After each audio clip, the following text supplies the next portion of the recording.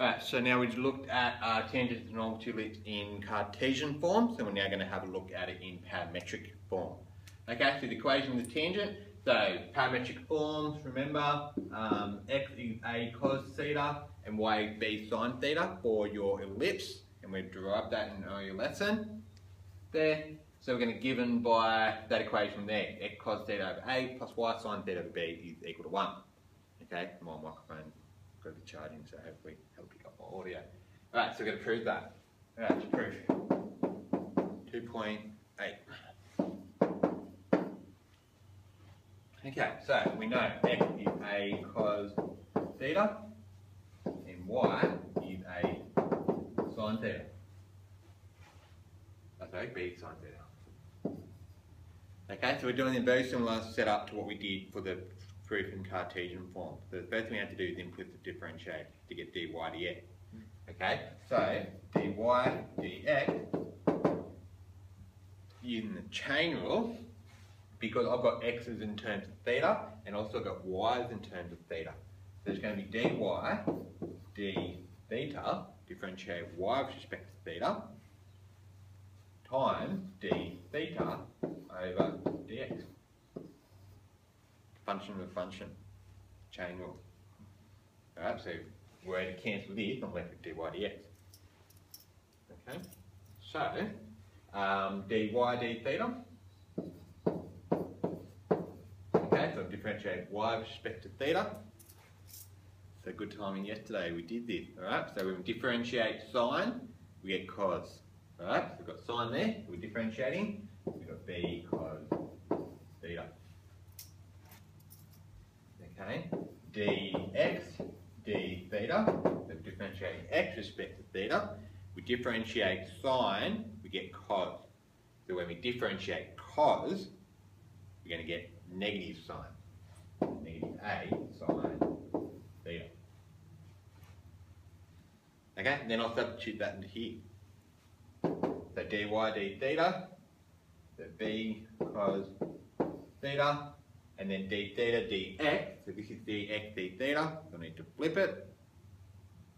Okay, so this will be uh, d theta dx is going to be 1, uh, negative 1 over a sine theta. Okay, so really what I'm doing here is just writing from the bottom.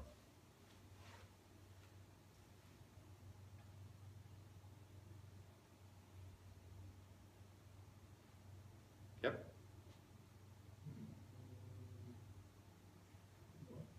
Hey. What? Ah.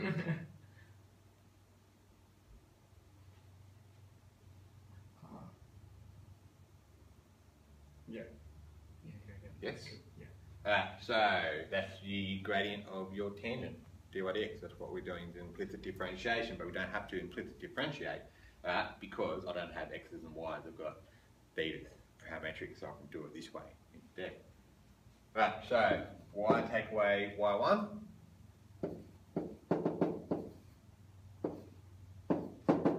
Negative b cos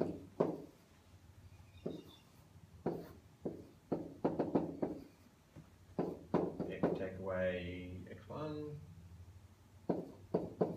Okay, so that's our point on the ellipse for x1, y1.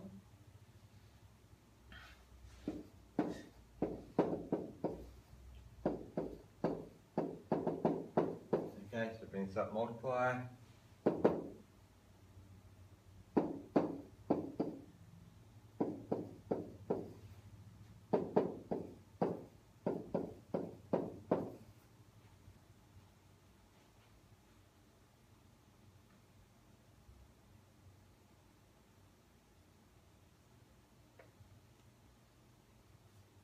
Yep. Right, so I know got sine squared, cos squared with the same factor. Okay, so I can make that plus, sine squared plus cos squared, I can eliminate that parameter there. So A uh, move this to the left.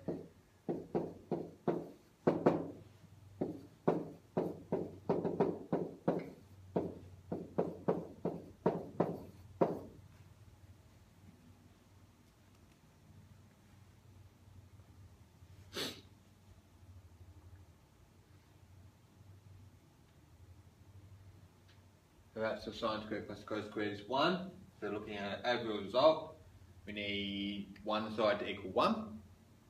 Okay, so if I divide everything by AB, that'll achieve what I need on the left hand side. Okay, so divide by AB, everything. So we've got um, just reordering it cos theta over A plus Y sine theta over each one.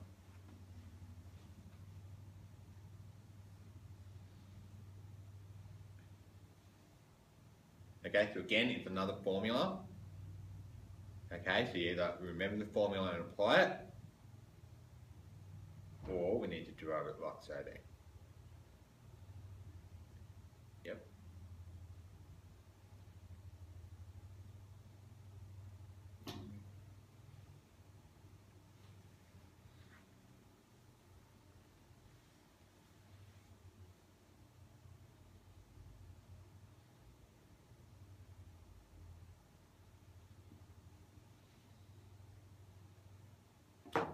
Alright, so now we've got the normal. At the same point is given by that equation. Okay, so the perpendicular gradient. Okay, so we just need to flip and change the sign. It becomes a sine theta over b cos theta.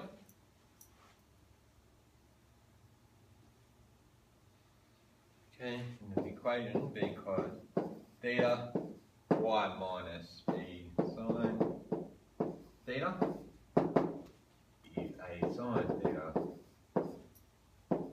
x minus a cos. Okay, so we've already brought up multiplied for one point gradient.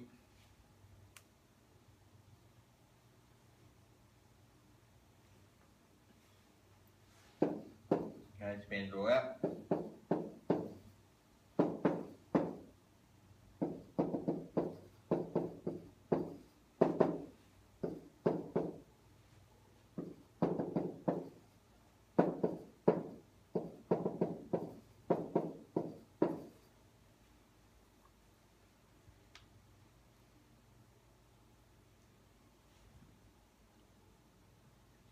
Okay, so now we need to start grouping so we can get that. So I'm noticing on the left hand, of the right hand side, I've got a squared, take away b squared.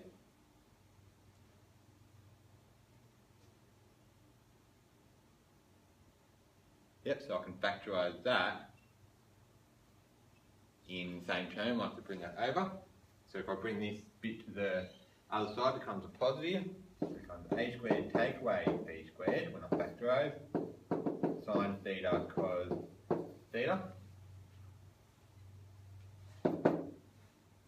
Okay, so you might need to show an extra step.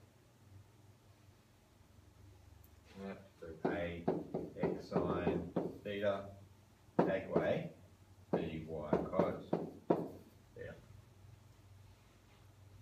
Okay, so I'm getting towards what I need.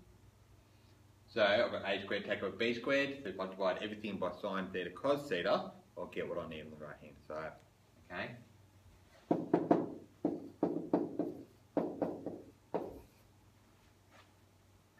So take b squared can be ax over cos theta take away dy on sine theta. That's required.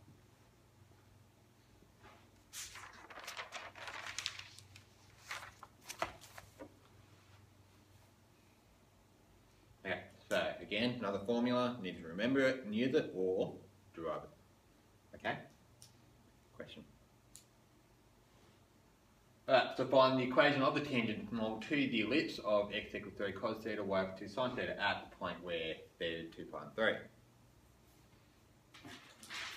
Okay, so again, we've got this in parametric form, x a cos theta, y b sine theta, and we've got the value for theta, so that will give us the specific point on that ellipse.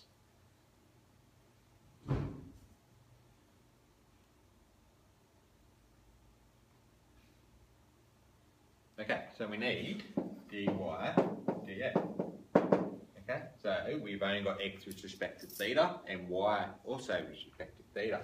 So using my chain rule, going to be dy d theta times d theta dx because I have an expression, come up with an expression for each of those there. Okay, so dy d theta, okay, so we differentiate sine, we get cos, so we get 2 cos um, theta. Okay, so when I do dx d theta, it's going to be negative 3 sine theta, and I need d theta to x, so it's going to be negative 1 on 3, so negative 3 sine theta.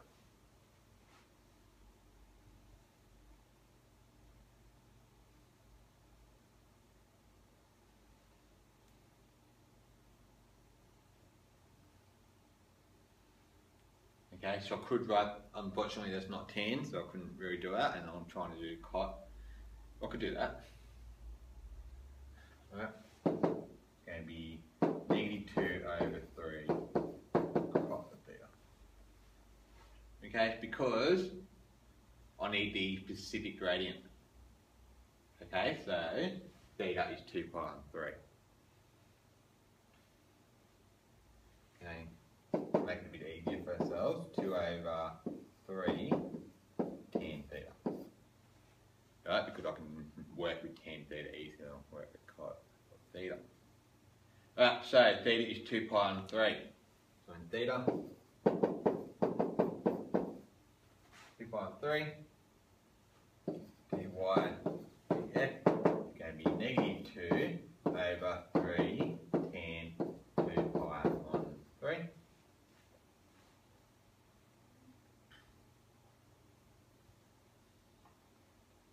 Alright, um, 2 pi on 3, what's that in degrees? 120. 120, so we've got tan of 120, which is an angle in the second quadrant, so 180 take away the basic angle equals 120, so the basic angle is going to be 60 degrees. Okay, the basic angle is pi on 3. Okay, and in the second quadrant, tan negative. Okay, the tan of 2 pi on 3 is going to be negative, equal to on 3. What is tan of, Root 3. okay, so we negative 3 root 3. Uh,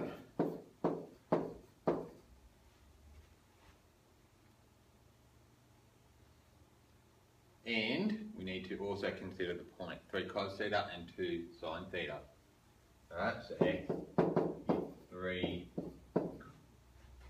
cos of 2 pi and 3.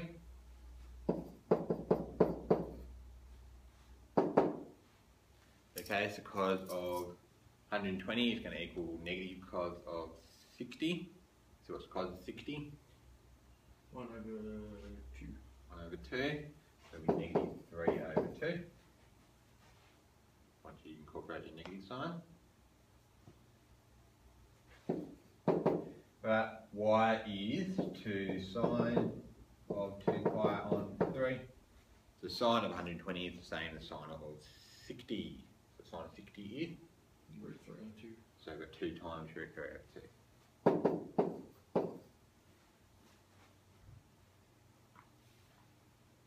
Alright, so y minus root 3 is going to be 2 over 3 root 3. x minus um, a negative 3 over 2. So, um, how do we do it? We'll do it y academic as just b. Right, so y is going to be 2 over 3 root 3x plus 2 times 3 over 2, so plus 3 over, hang on, so it'll just be 1 on root 3.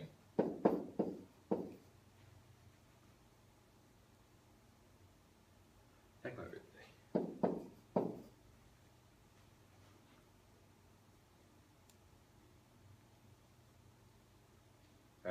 You got your calculator handy?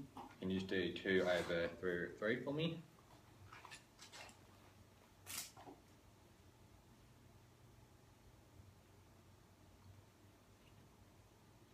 Zero point three eight four nine zero zero Good. one one. Yep. I'll check this GeoGebra, I didn't actually do the way. And can do 1 over the root 3, take away root 3. Uh, plus root 3, sorry. 1 over root 3 plus root 3. 2.31. Yeah. Good. Alright, so, how we use that skill there. Right, so next question here, so the tangent to the ellipse, x squared plus a squared plus y squared on b squared equals 1 at the point P, A and B, meet the axes at M and N respectively. So, if O is the centre, find the area OMN. Right, so what that's saying is you have some ellipse, you have some point um, P on the ellipse, the tangent to that makes the axes that M and N, respectively. When they say respectively, x-axis M, y-axis N. Then, if O is the centre, we need to find the area of OMN, okay, which is our right, right angle triangle there. Right, so if we find the distance OM and the distance ON, we can then find the area of triangle OMN. Alright, so from the previous page, I'm not going to derive it again. Um, equation of the tangent is that. Okay. The tangent has equation, so x cos theta over a plus y sine theta on b is 1. Okay, so we just need to find the intercepts here and here using that. So we've got the general point, we haven't told, been told anything else with this, and also we haven't been told anything with A's and B's either. So that's our general form. Right, so x-intercepts. Okay, set the opposite letter equal to zero. Um, so that means um, x is going to be a over cos theta once you rear it up. Yep. This is zero, multiply by a, divided by cos theta. Yep. Alright, so y-intercept.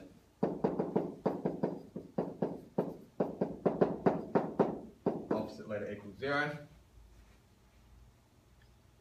Okay, so similarly, y is going to be over sine theta.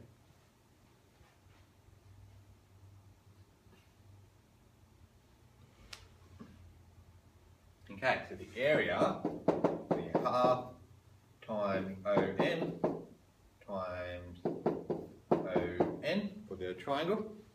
So because we found the intercepts, we've got the coordinates of M and N.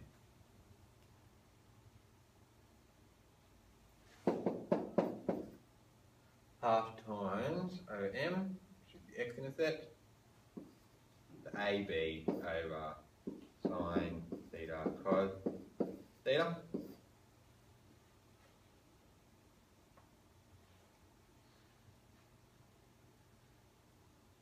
And what do I have on the bottom?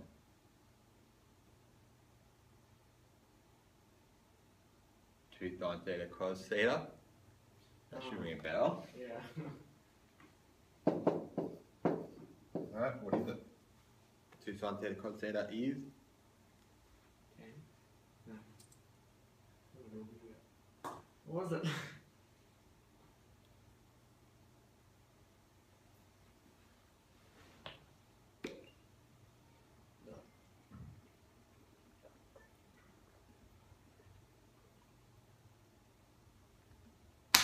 That's hard. I can't remember it. Double angle results. That's it. Now, we technically should be saying the absolute value because we can have um, P over here, and that'll give us the negative coordinate for M and N. Okay, so we should probably take, it. so we should state the output ready, alright, because we want the area of triangle.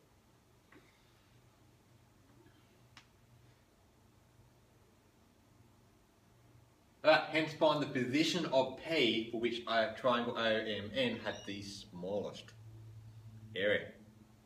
Should be in the middle. Pattern, Like. Yeah. where are you thinking? In the middle. In the middle? Like. On the corner. And the very. Where. What angle? Using your modulus skills. Um.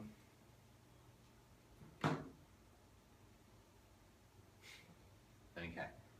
The area is AB over sine 2 theta. Okay, so we need to determine the position of P, which that makes it the smallest. Okay, now, what's the variable? Which one changes? AB or sine 2 theta? A. A B.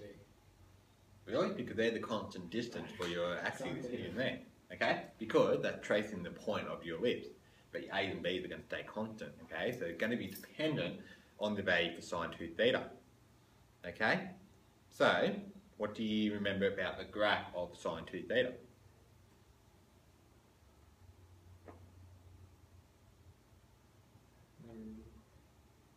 I remember graphing it.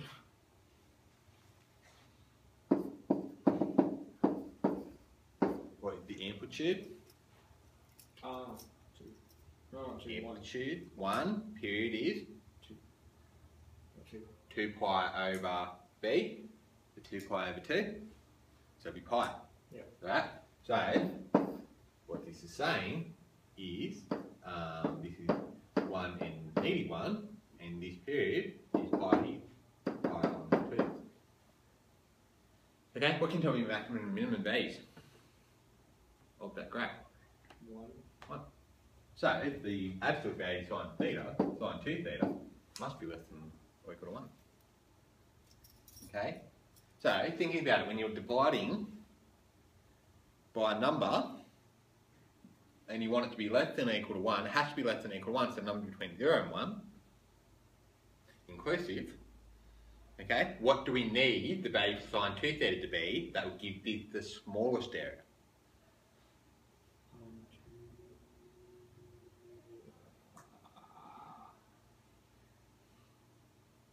I'm out of this answer.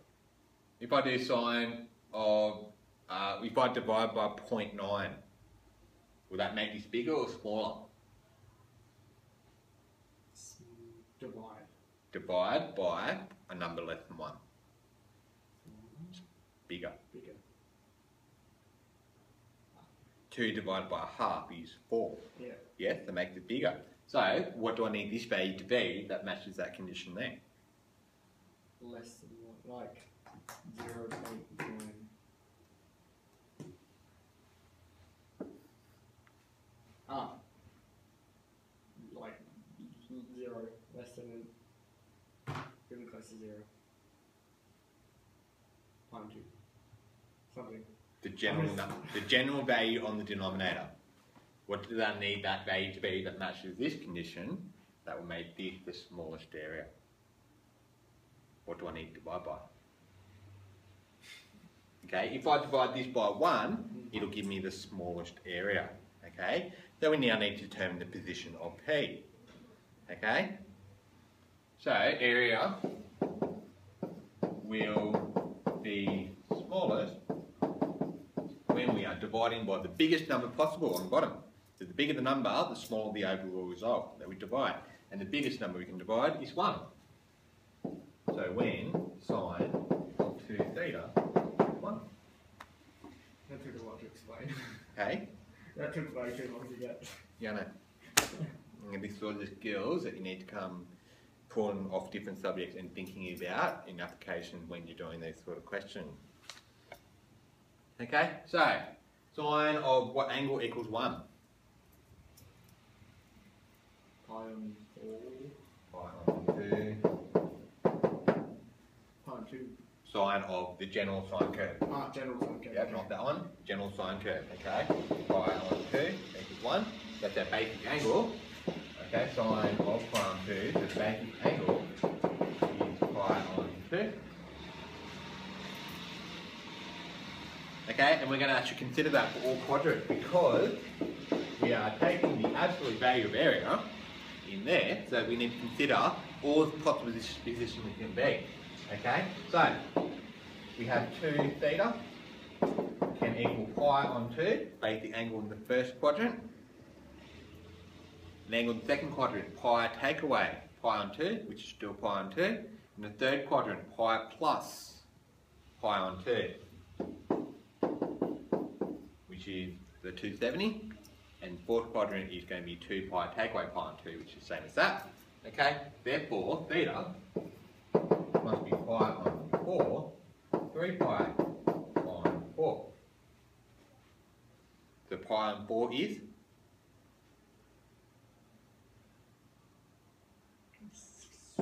Sixty. Not sixty. Oh my god. what angle, what degree is pi on 4? 180 divided by 4 is. I'm sick back.